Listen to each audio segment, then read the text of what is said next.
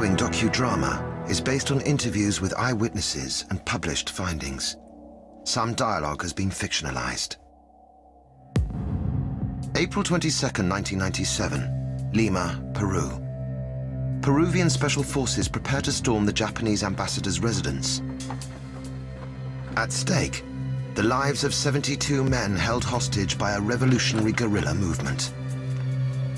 A deadly game is in play for the lives of the hostages. ¿Qué es? Se llama ajedrez. Es un juego de estrategia. On one side is a desperate man willing to kill for the woman he loves. His adversary, a ruthless and corrupt political czar. And at the heart of the siege, the man who risks his own life to become a hero.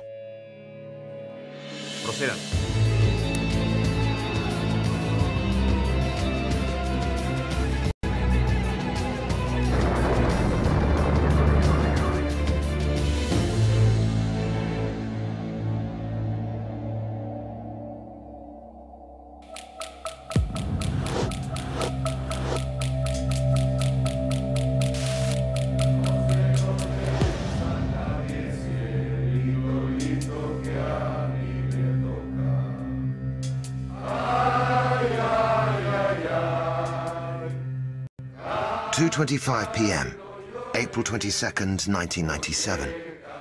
This is the story of the last hour of the last day of a siege that lasted four months. In December 1996, the Japanese ambassador to Peru hosted a pre-Christmas cocktail party for Lima's elite. Among the 600 guests was British journalist Sally Bowen. We were talking around the idea of whether Peru was now really a neoliberal paradise or whether there could be remnants of terrorism still around. When suddenly there was a loud bang, I think all came to more or less the same conclusion that it was probably a, a, a small car bomb, maybe in the street, until suddenly the firing started. Uh, I remember just trying to imagine what what it would feel like when the bullet hit flesh.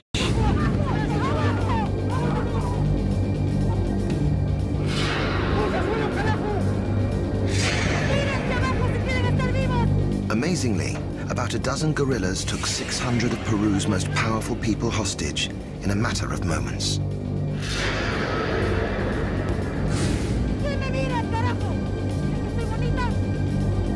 Two of the guerrillas were teenage girls, they were also explosive experts. That night, they mined the doors. The hostages were sealed in the guerrillas' trap. I managed to get a sort of sideways look, and um, I could see three guerrillas in um, black knitted hoods over their heads.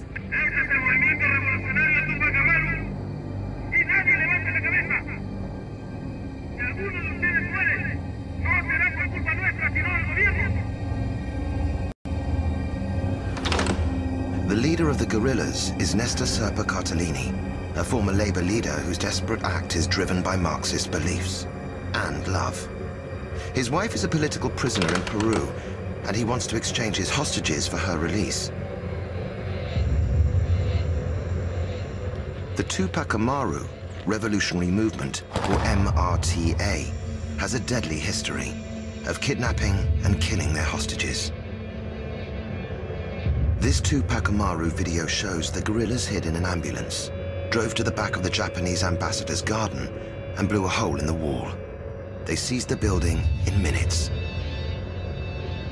The, the fact that 14 guerrillas could take over uh, a heavily guarded embassy uh, residence where, where there were about 600 guests is really nothing short of extraordinary. Cerpa was shrewd. He knew his small gang of 14 couldn't control 600 hostages, but he had some of Peru's most important people in his hands, including the foreign minister. He would be one of Cerpa's main bargaining chips.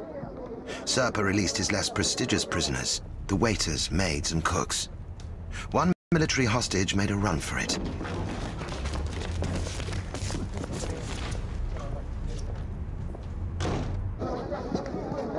Tupac Amaru next released all the women.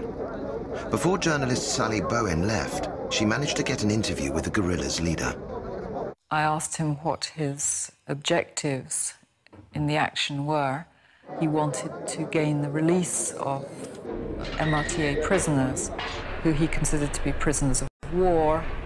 He said that the prison conditions were inhumane. Um, he said, for example, that children of somebody who was imprisoned on a terrorist charge were never allowed to touch their parent. So he said, This is what terrorism does. Terrorism is self sustaining because it breeds hatred. Um, you breed hatred in the children um, against the system that treats their parents so inhumanely. When I said goodbye to the people I knew, I said, Don't worry, I'm sure you'll all be out of here tomorrow. I mean, I could not have been more wrong. Peruvian President Alberto Fujimori refused to give in to the guerrillas' demands. No se puede hablar de paz ni de acuerdo mientras se utiliza el terror como principal argumento. Over the weeks that followed, Nestor Cerpa released hundreds more hostages in the hope of concessions from the president, but he got none. In January 1997, he dug in his heels. Cerpa announced that no more hostages would be released. 72 remained in captivity. Cerpa ordered them held on the main floor of the Japanese ambassador's residency. Makeshift mattresses and blankets formed their sleeping quarters. The Peruvian government had shut off all power and water. Hostages and guerrillas alike had little food or drinking water, and no toilets. One hostage was offered his freedom, but refused. Jesuit Father Juan Julio Wicht had a clear message for the guerrilla leader. Señor Cerpa, soy sacerdote. Mr. Cerpa, I am a Catholic priest. I will remain here until the last hostage has left. I stay for solidarity and for moral support. At 2.32 p.m. on April the 22nd, the one man ruthless enough to destroy Cerpa prepares to launch his deadly attack, one he has been planning for months. Vladimiro Montesinos is Peru's supreme head of intelligence. The president has secretly ordered him to plan an armed rescue attempt. Montesinos is a very ruthless man. He's very calculating, can be chillingly cold. Montesinos had really got control of virtually every element that was important in Peruvian life. Montesinos has earned his reputation as a brilliant but brutal political boss. A man who has risen to power through cunning and fear. He is one of President Fujimori's most trusted aides. In public, Fujimori promised to talk with Tupac Amaru. In private, he had given Montesinos authority to wipe the guerrillas out by whatever means necessary, without killing the hostages.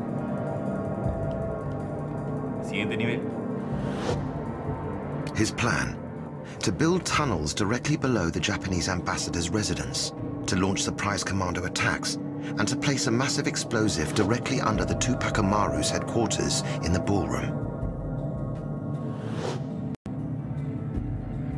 The problem is, some of the hostages could be blown to bits along with the terrorists.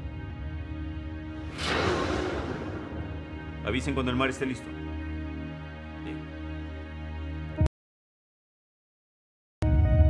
Serpa has threatened to kill the hostages if his demands are not met. What he does not know is that Montesinos has a secret weapon. One of the hostages, codenamed the Sea, has a direct line of communication with Montesinos. The fate of the 72 hostages lies in his hands.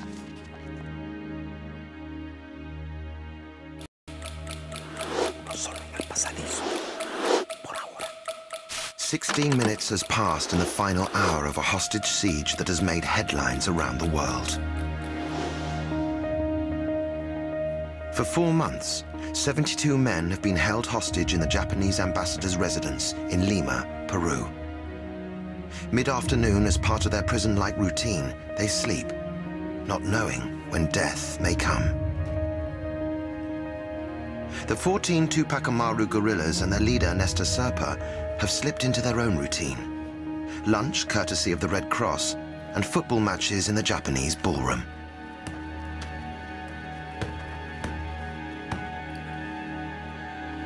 One of the hostages is not sleeping. He is Admiral Luis Giampietri, a career military man and counter-terrorism expert. He was a founder member of Peru's Special Forces. For the four-month siege, he has been muttering away over his Bible. The young guerrillas think he's gone slightly mad. What they don't know is that his Bible hides a transmitter allowing him direct communication with intelligence chief Vladimiro Montesinos. Es el mar. Son 14 y 43. Aún no han comenzado los chanchos a jugar.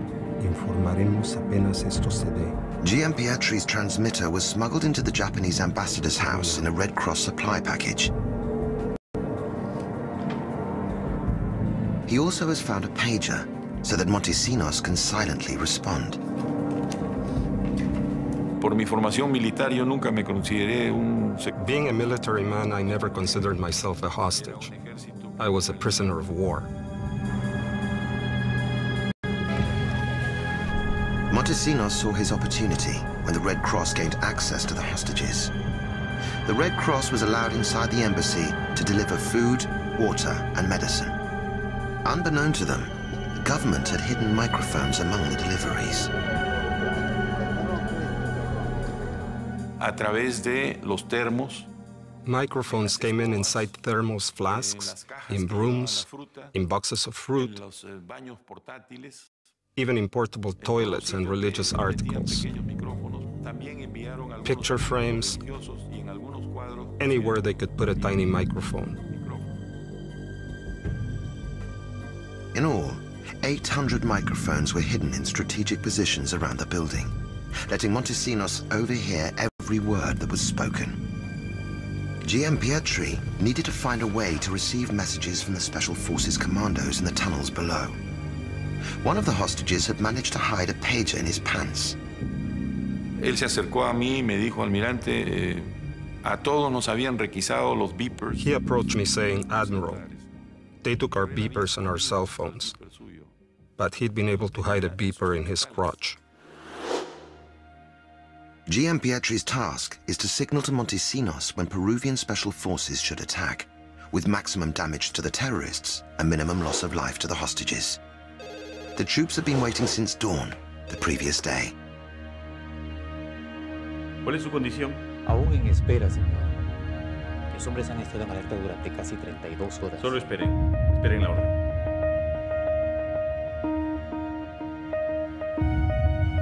For months, Vladimiro Montesinos has prepared for this day and this hour. Montesinos was a master of diversion.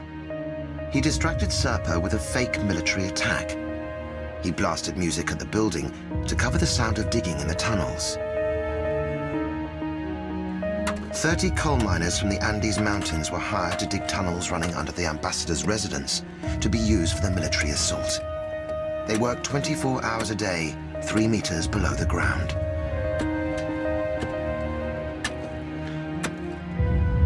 Every night, ambulances passed by the back of the ambassador's residence as if part of a standby medical team. In fact, they were Montesino's men taking away tons of earth coming out of the tunnels. Montesinos had a particular characteristic. Um, he would never let an opportunity go by. And he, he also has um, a great ability to create smoke screens, to use diversionary and distraction tactics. For Giampietri, it is not a moment too soon. His fellow hostages are almost at breaking point. Most of them have been kept in the dark, as the slightest wrong move could ruin the rescue plan. Nosotros estábamos entrando ya en una situación de desesperación que era peligroso. We were so desperate that it was getting dangerous. I felt the same way. Some people weren't sleeping. Some cried at night. At any moment, someone could lose control. One wanted to use the string of my guitar to strangle the terrorists.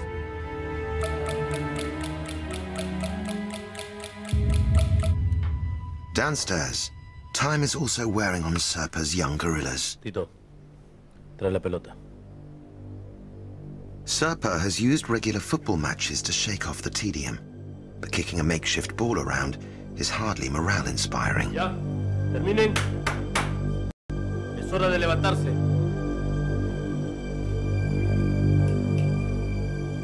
Today's game could be the moment Gianpietri has been waiting for. El chancho y los tres chanchitos están abajo.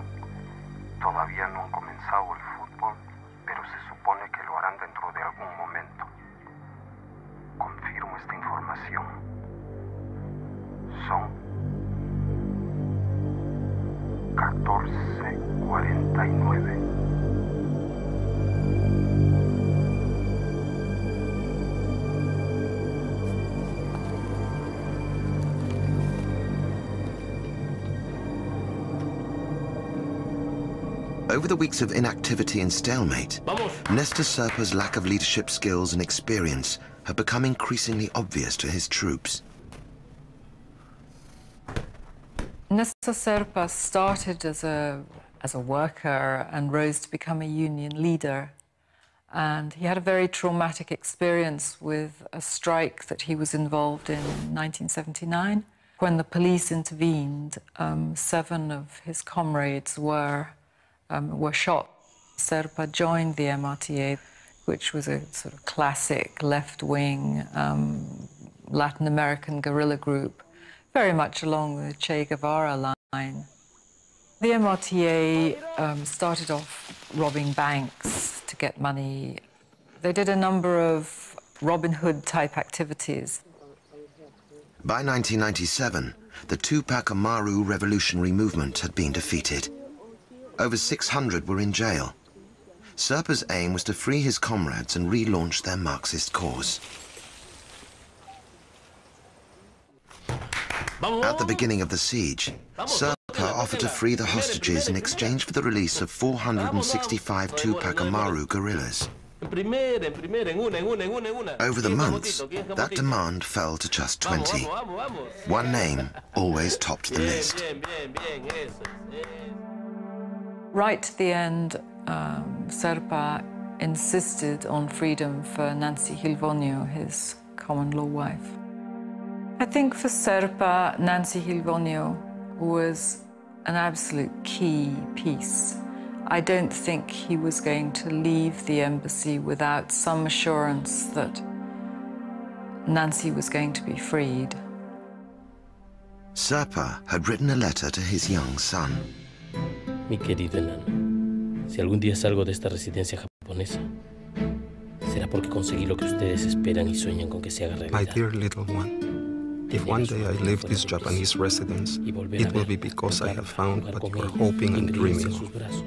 Having your mother out of prison, coming home to see her, to touch her, to play with her, to be in her arms. If you write to your mother, tell her I love her more than ever. I love you. Your dad.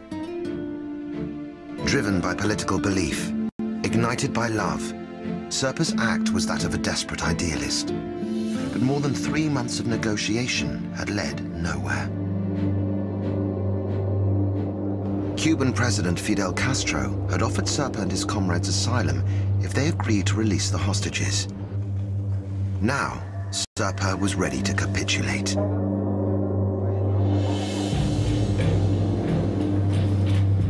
Serpa called a meeting. A microphone hidden on the coffee carafe transmitted every word to Montesinos.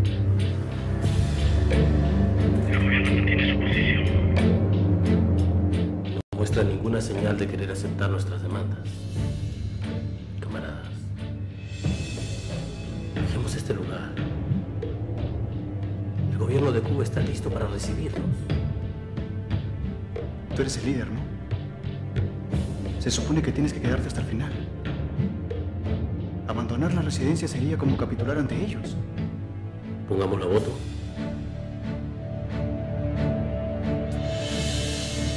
Mi voto es por abandonar la lucha. Y el mío es por continuarla. Por la liberación de todos nuestros camaradas en prisión. ¿Quién está conmigo?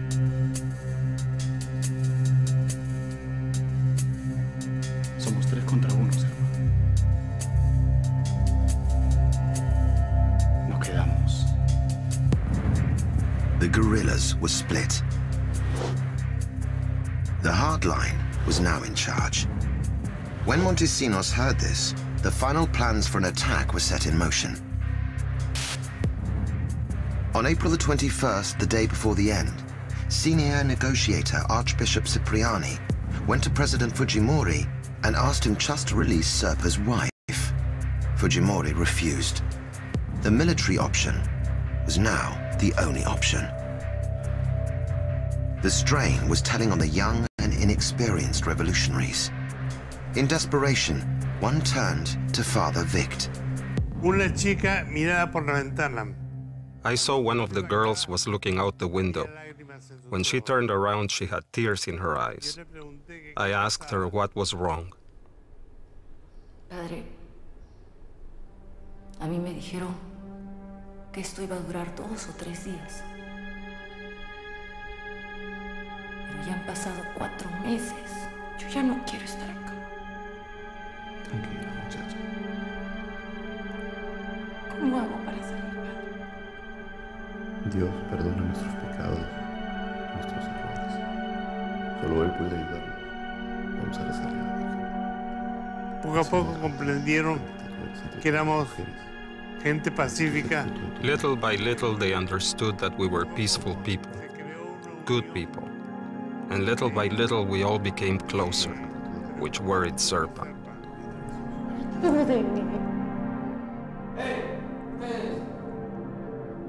¿Qué hacen?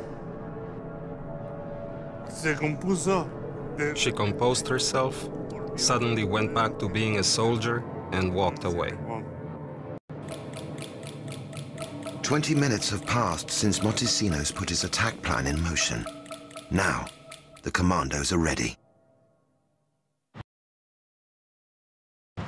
The commandos trained for months in a full-scale replica of the building, memorizing each hostage and terrorist's face, so when the time came, they could tell friend from foe.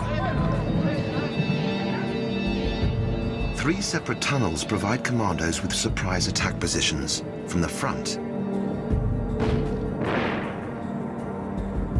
rear,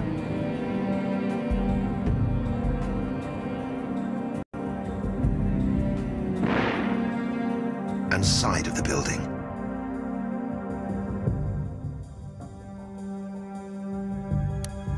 A fourth tunnel leads under the ballroom where the explosives are set.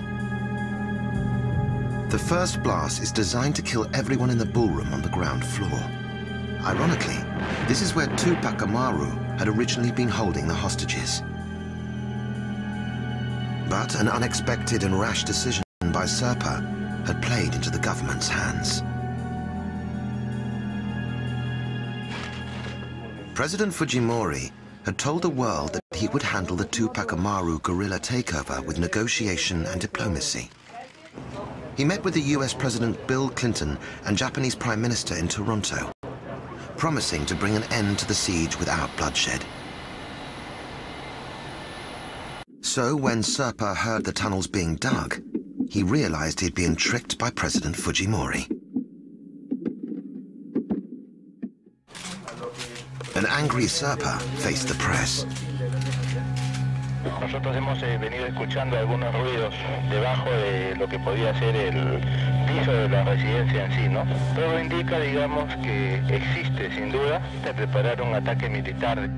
Cerpa furiously attacked the government and uh, again made threats that the hostages would be killed. TV crews beamed the story around the world. The safety of the hostages was now on a knife edge. But Cerpa's next action was a gift for Montesinos. Lo mandó a todos al segundo piso. They sent us all to the second floor. Esa fue la medida que tomó. That's the measure he took. We were all put together on the second floor. Cerpa sent the hostages upstairs and grouped his guerrillas downstairs in the ballroom so that they could confront the commandos if they stormed the building. It was a decision that would determine who would live and who would die.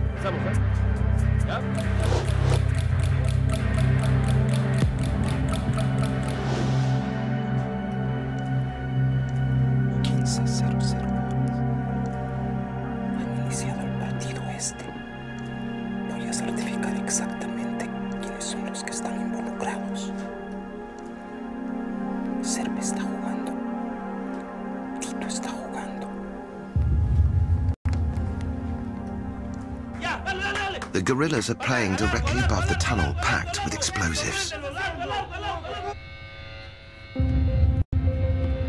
Giampietri signals Montesinos to stand by. But before launching the attack, Giampietri must check that none of the guerrillas are close enough to the hostages to kill them. Upstairs in the next room, these hostages know nothing of the coming attack.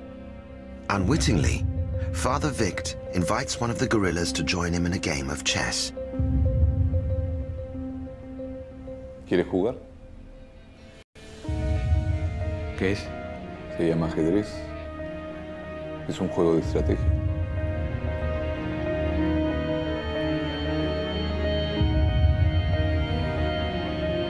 After four months, few of the hostages expect a rescue attempt. Jaque. Or for that matter, to live.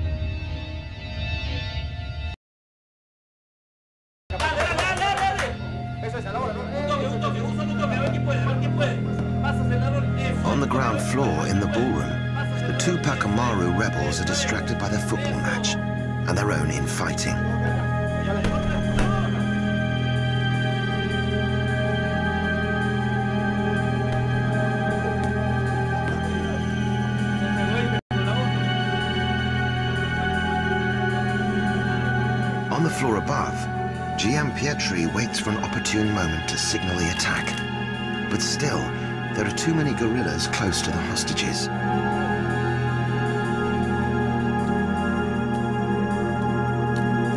Allí eh, se produjo un The problem was that Mr. Agura was playing cards with the terrorists.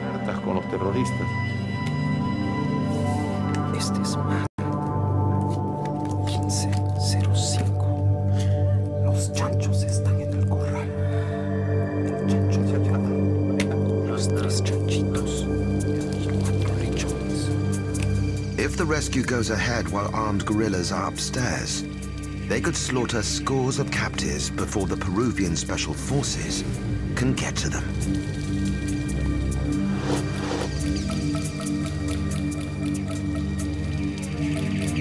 Less than half an hour remains in a drama that has stretched out across four months. Most of the Tupac Amaru guerrillas play football in the ballroom of the Japanese ambassador's residence. Upstairs are 72 hostages. Peruvian special forces have hidden for a day and a half in tunnels below, waiting for the order to strike. But government agent Admiral Luis Giampietri has a problem. There are too many guerrillas guarding the hostages for the rescue to succeed. Comandante nos quiere a todos abajo. Ya, vamos, todos abajo. ¿Qué esperan? Vamos. Then guerrilla leader Nestor Cerpa sends a message to the guards upstairs to come down and join the football.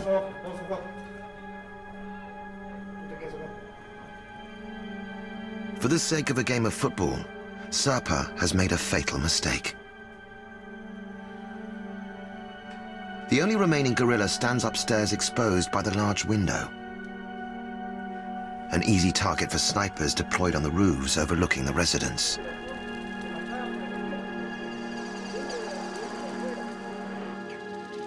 Montesinos' violent assault is primed. No plan is foolproof. But Montesinos has covered every base with admirable cunning.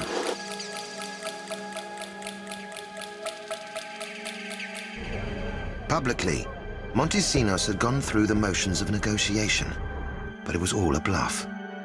The fruitless talks were simply to buy him more time. Cerpa had allowed Japanese and other journalists into the embassy. The Tupac Amaru showed off their weapons and their prized captives. Cerpa announced that the Peruvian foreign minister, Francisco Tudela, would be the first to be executed if there was a rescue attempt. What Cerpa didn't know, that some of the journalists were actually Montesinos' secret agents, gathering detailed video information for an attack.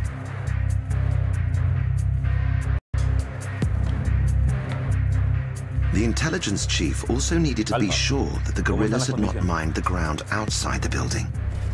He had ordered hundreds of rats released all around the Japanese ambassador's residence as mine detectors. No mines exploded. Montesinos now knew that he could launch a coordinated attack above ground as well as below.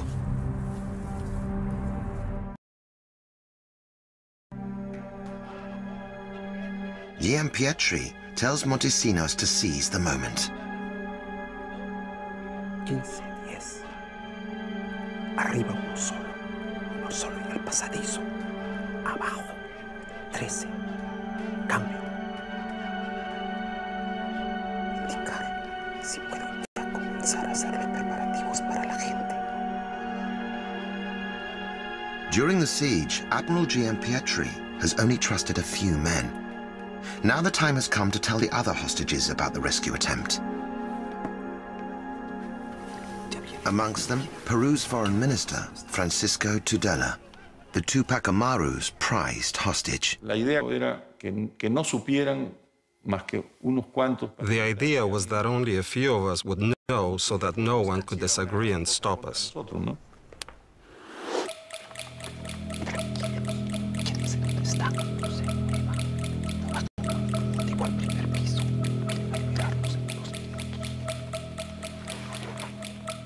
Y les digo, vamos a abrir la puerta.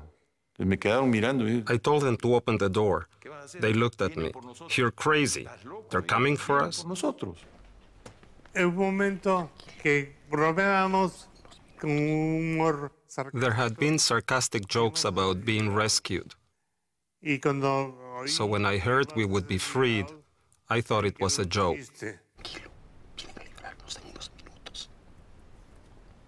For four months, Father Wicht has preached non-violence.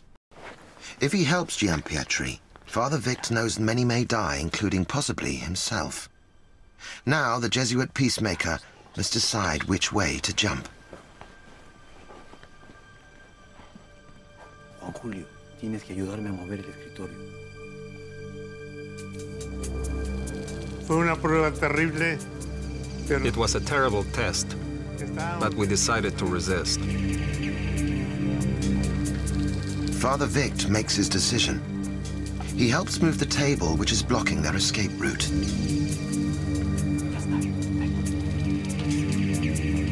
The commando's plan is to free the hostages through these terrace doors.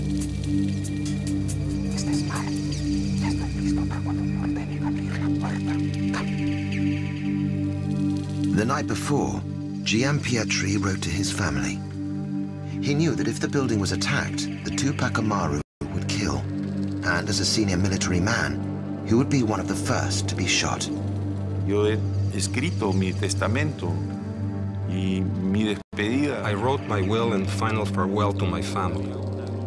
There was a huge internal struggle. Literally, to be or not to be. Vivir o no vivir. En otras palabras, We were all very conscious that the Peruvian state could not give in to terrorism. But at the same time, we all wanted to live. salir vivos de esto. Jugar las dos cosas no era muy fácil. It was particularly difficult knowing that if there was a military attack, at least 40% of us would die.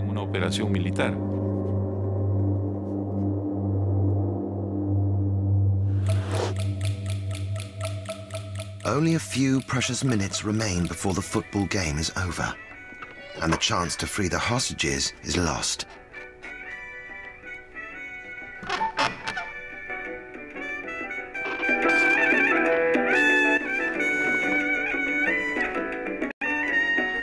After four months, the bolts on the terrace doors have rusted shut.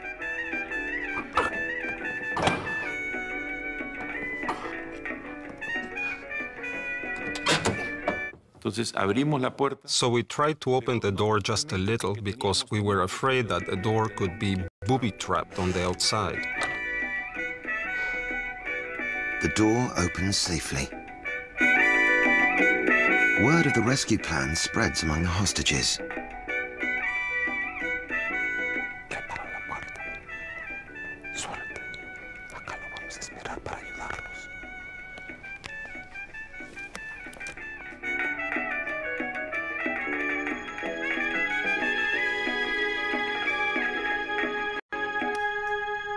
Radio is switched off. This is the pre-arranged signal for the hostages to take cover. Y cada cual buscó un lugar donde refugiarse. ¿no? Había habido ya They each looked for a place to hide. We had a task force ready to put everyone into the rooms. Some of the hostages are Japanese. One doesn't understand Spanish. uno de nosotros. One of us grabbed him and put him in a room. The window of time is closing fast.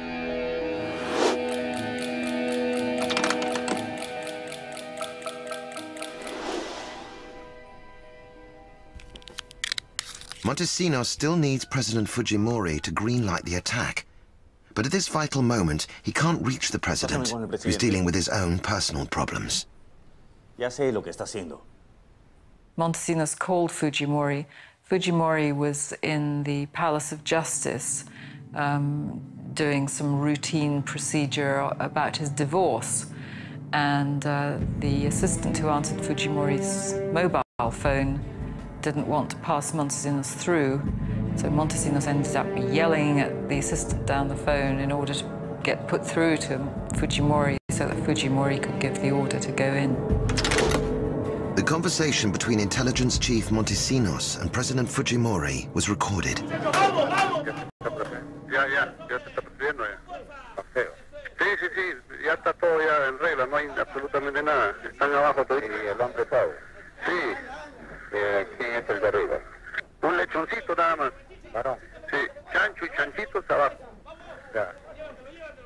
Perfecto. Procedan. 32 hours of waiting, the commandos are on edge.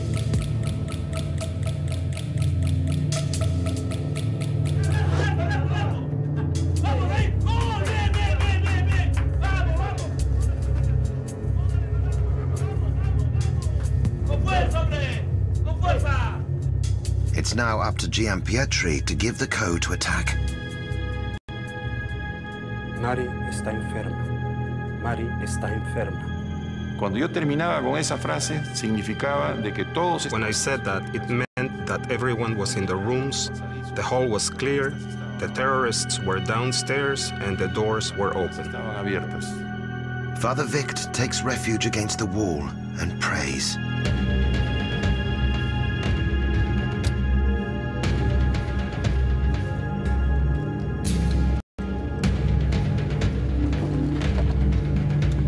¿Listos? ¿Listos? But just as the countdown begins, things go horribly wrong. Hay un helicóptero por aquí. Informamos que había un helicóptero que casi, casi malogra la operación. A helicopter almost wrecked the operation. I don't know why it was flying over the building just then, but the MRTA stopped playing football.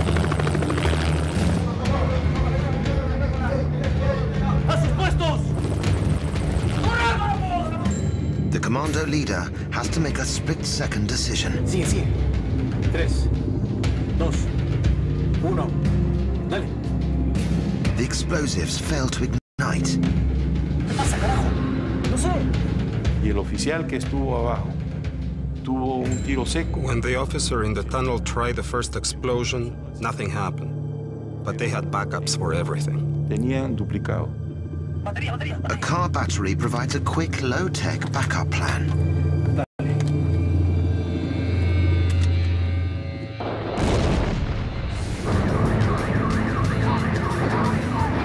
Six terrorists are killed instantly, and one, Cerpa's right-hand man, Tito, lays dying.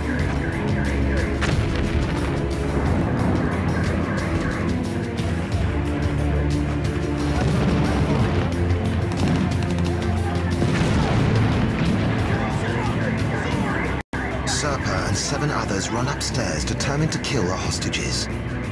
140 commandos storm the building from all directions. The Tupac Amaru face overwhelming odds. Porque el ingreso fue masivo, fue por... It was a massive attack. Everybody came in from 10 different places at once. The commandos must get to the hostages before the guerrillas can kill them.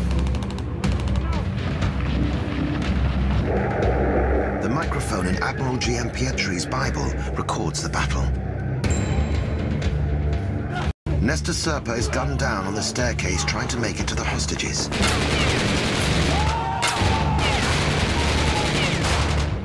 The man who led the Tupac Amaru's daring plan now lies dying in a pool of his own blood.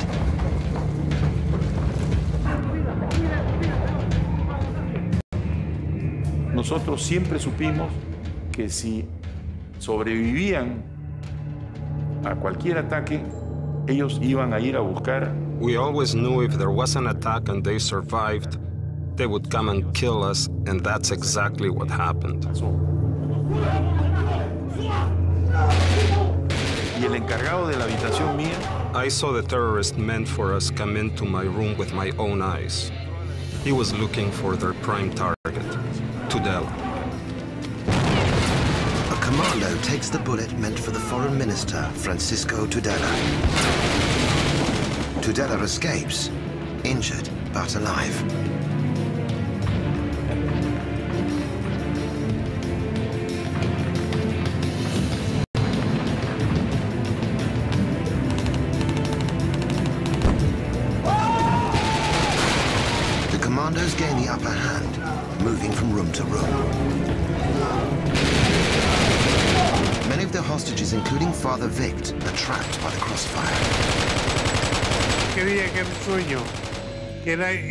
I thought it was a dream. It couldn't be real. It was freedom obtained in the most violent way, but freedom nonetheless. Admiral Giampietri escapes still holding the farewell letter he wrote the night before. Pocas personas tienen la oportunidad. Few people get to rehearse their own death. It gave me a great sense of peace. Well,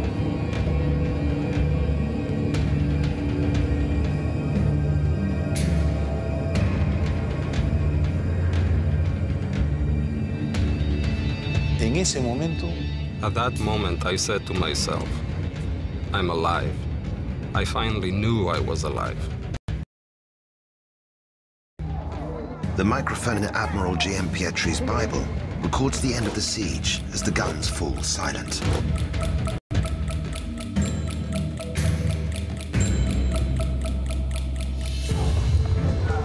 Subsequent reports say the commandos fired as many as 500 bullets into Cerpa's body.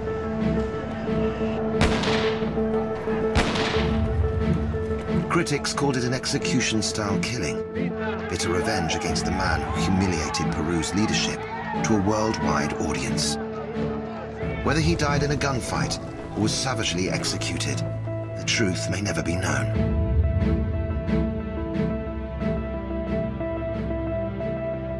April the 22nd, 1997, the Japanese ambassador's residence in Lima had been retaken after a siege lasting 126 days. Peruvian President Alberto Fujimori and intelligence chief Vladimiro Montesinos were hailed for their victory over terrorism. The 14 Tupac Amaru terrorists were all dead. President Fujimori personally inspected their corpses for the TV cameras. The death of the, all the guerrillas was completely accepted. Nobody raised an eyebrow. Nobody questioned it.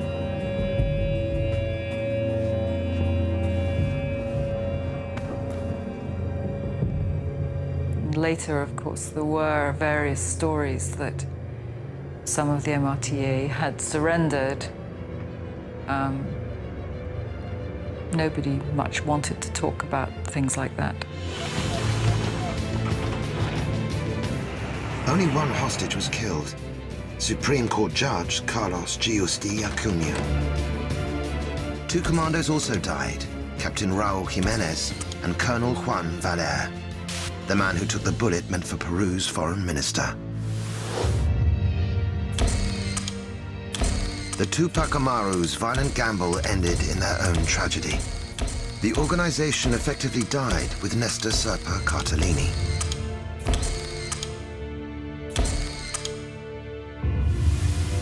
His sons, Nestor and Juan Carlos, now live in exile. His wife, Nancy, will be in jail for the rest of her life. Sally Bowen believes that the Peruvian government's violent solution to the hostage crisis was born out of their own humiliation. The military and the intelligence services had been made to look stupid. I mean, 14 guerrillas, most of them untrained, uh, most of them very young, who'd come from the jungle, who'd never been in Lima before. And even if they didn't eventually gain their ends, um, was a real blow to the pride of the armed forces and the intelligence services. And they had to get revenge. Vladimiro Montesinos and President Fujimori were fated as heroes. But in an extraordinary twist, within two years, they would become outlaws.